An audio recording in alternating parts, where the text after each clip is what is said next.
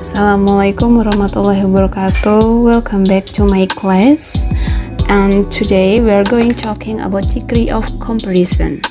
In daily activity, we often compare someone with someone else. Compare something with another. Then, how to use the good sentence to compare someone or something? Today, we are going to study about that. We call it as comparison degree. Comparison degree are used when we compare one person or one thing with another. Comparison degree divided into three.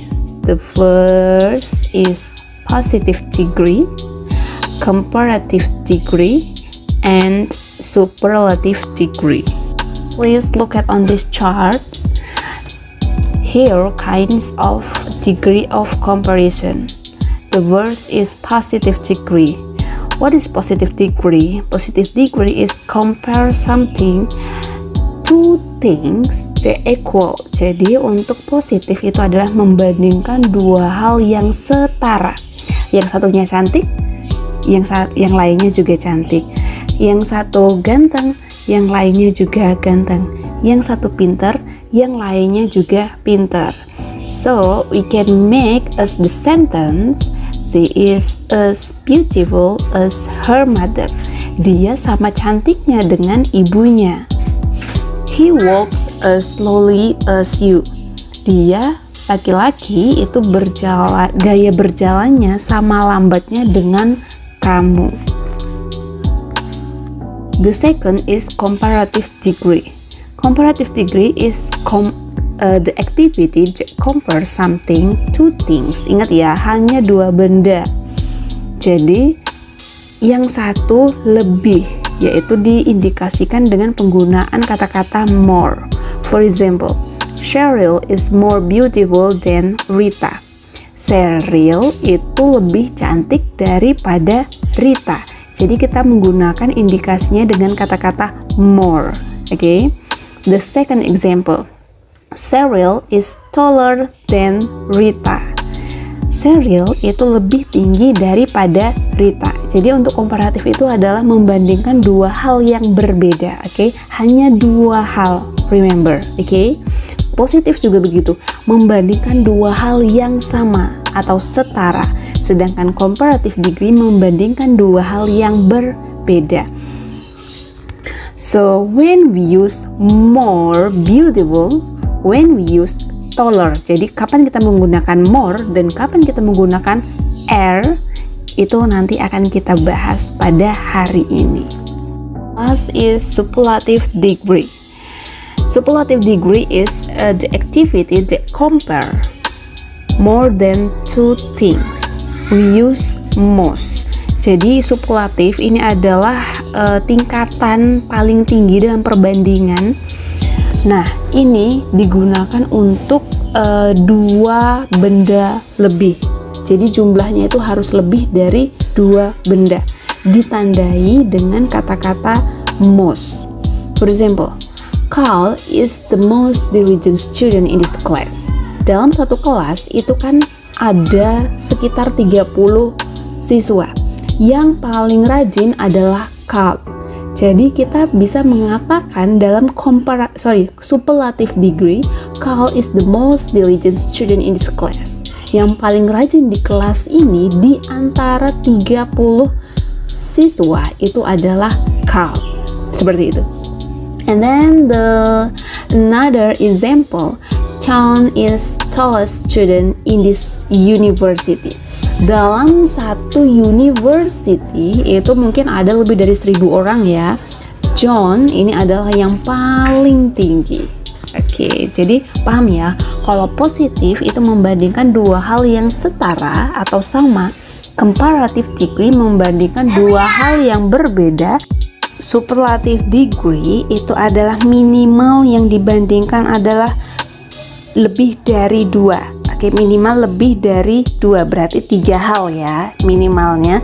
And then bisa nggak sih mi satu eh, sepuluh orang? Bisa. Bisa nggak mi 100 orang? Bisa. Bisa nggak mi 1000 orang? Bisa. Bisa nggak mi satu kampung? Bisa. Yang penting minimal perbandingan untuk superlatif adalah tiga orang. Oke. Okay? Dan superlatif itu mengindikasikan kata paling. Paling malas, paling rajin, paling ganteng. Here the formula of positive degree. There are two kinds of formula. The first is adjective and then the second is adverb. When we use adjective, don't forget your subject, auxiliary, us, adjective, us, and subject. Ini boleh ditambah dengan auxiliary ataupun tidak itu tidak masalah. Oke, okay? for example, you are as beautiful as your mother. Kita wajib menggunakan as, as, oke? Okay? As beautiful as itu wajib dan kudu, oke? Okay? Adjektifnya mana? Beautiful. Jadi you are as beautiful as your mother. Ini adalah contoh dari positive degree using adjective. Kamu sama cantiknya dengan ibumu. And then let's we talk about adverb. When we use adverb, we should use the formula subject, verb, us, adverb, us, subject. We study as seriously as they. Kita belajar sama seriusnya dengan mereka. Jadi sama-sama serius. As seriously as. Oke. Okay? Inilah penggunaan yang namanya positive degree membandingkan dua hal yang setara. Next, comparative degree. We use comparative to compare two people, places, or things. For example, serangga. Ini sama-sama serangga. Serangga ini small. Ternyata ini ada yang lebih kecil. Kita mengatakan dengan smaller. Small, smaller. Small, smaller. Ditambah er di belakangnya. Nah, when we use how we build the comparative degree in short adjective we could add er old older young younger karena hanya satu silabel atau satu uh, satu penggalan kata makanya ditambah langsung dengan er big bigger hot hotter and in some case jika akhiran suku kata diakhiri dengan y, maka y ini berubah menjadi ear. Oke, okay? easy y-nya berubah jadi e. Easy, easier. Heavy, heavier. Y-nya diganti dengan i ditambah r. Begitu aja. And for long adjective, we use more. For example, exciting, exciting exciting. Ada dua kan silabelnya, ada dua penggalan kata exciting. Oke, okay? berarti kita menggunakan more, more exciting. Beautiful, beautiful. Panjang kan? Lebih dari satu syllable. Jadi kita menggunakan more beautiful, more beautiful. Oke. Okay. Next selanjutnya adalah untuk irregular adjective itu tidak ditambahkan er dan juga diawali dengan kata-kata more, yaitu berubah menjadi good menjadi better, bad berubah menjadi worse. Ini untuk yang irregular atau adjektif yang tidak beraturan. John is taller than Mary. Taller karena dia uh, short adjective ditambah er. John is taller than Mary. A Ferrari is more expensive than Fiat. Expensive. Panjang kan? Expensive. More expensive. Tall, taller. Expensive, more expensive. Based on the last example, the comparative degree used is below. For example, when we use adjective form, subject plus auxiliary and then adjective plus er or more plus adjective okay. Ini yang untuk satu syllable aja atau short word short adjective. Kalau ini yang kalau yang ini untuk long adjective. And then then plus s. I'm taller than you are. Menggunakan taller. She is more beautiful than I. More beautiful. Taller. Gitu aja oke okay? Ini yang menggunakan one syllable ini yang menggunakan more than one syllable. Next, we use comparative degree in adverb such as subject, verb, more plus adverb, then plus s. You study more diligently than I. You study more diligent than I. Look at on this picture. Ada dua orang, yang satu adalah wanita, yang satu adalah pria. Mereka sama-sama tua. Ini yang wanita umurnya 70, yang pria adalah 75. So we call us old, older. Okay? The woman is old. Wanita ini tua the man is older than woman. Tetapi pria ini lebih tua daripada wanita ini. And then the woman is old. Pri, sorry, wanita ini tua, but she is younger than the man. Wanita ini lebih muda daripada pria ini.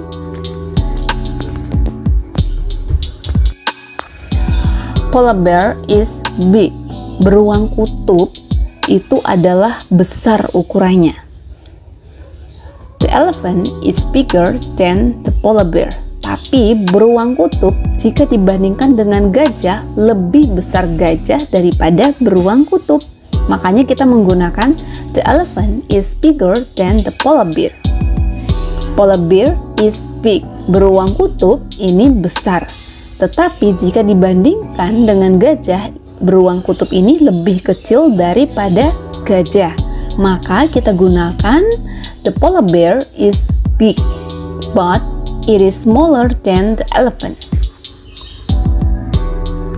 Kinds of comparative degree is superlative degree. The formula subject auxiliary D adjective plus es, most plus adjective, and noun. For example, she is the tallest student in this class. One syllable, contohnya adalah adjective plus est. Jadi, tall, tallest, tall, tallest. She is the most beautiful girl among her friends. Lebih dari dua, lebih dari satu syllable menggunakan most plus adjective. Most beautiful. Tall tallest. Most beautiful. Oke okay, ini lebih dari satu syllable maka kita gunakan most. Next adverb. Subject. Verb. The most adverb she speak English the most fluency here she speak English the most fluency here how do we build superlative degree, please look at on this chart. Short adjective plus est. Old, the oldest. Young, the youngest. Big, the biggest. Hot, the hottest. Short adjective ended in y. Uh, jika akhirannya y itu diganti dengan es seperti yang tadi y diganti dengan i oke okay?